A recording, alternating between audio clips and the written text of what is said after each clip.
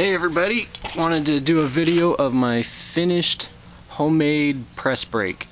Now this is mostly made out of scrap metal and I painted it so it looked somewhat decent. And I had my brother make me a Got Bent sticker like the Got Milk logo. Um, if you guys want any custom vinyl stickers, like uh, his email's in the description below and you just give him the inches tall by inches wide, whatever size you want, and he can give you a quote. He uses high quality vinyl, but I thought that was cool to have that on there. Okay, now you might notice that this design's probably upside down from what you're normally used to seeing.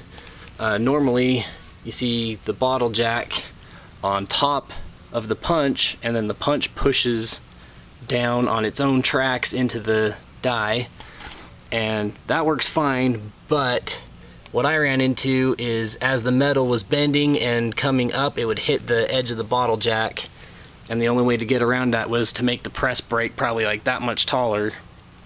So what I did instead is put the die on the bottom and the die travels up and down and it still works fine and it let it that made it so I can make the press brake a lot more compact and I had didn't have to use as much metal.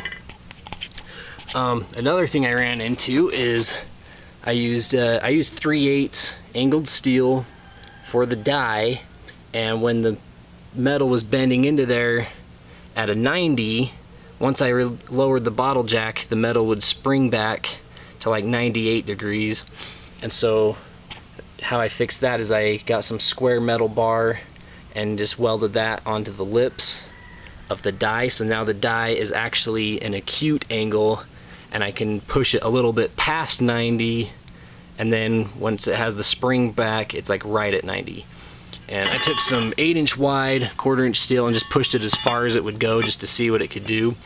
And I got it to stay a little less than 90 so that's kinda cool.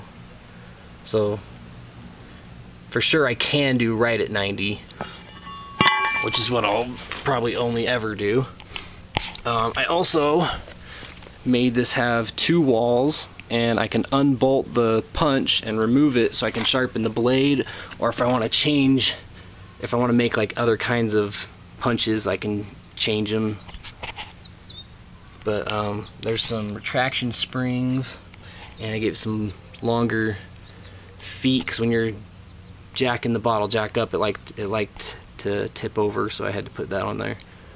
But um, also, uh, these welds right here, see if I can get it. I did that with a Harbor Freight MIG welder, and I'm going to do a review video of that, so be sure to check that out. But that holds up just fine. I mean, I bent it, bent this with it.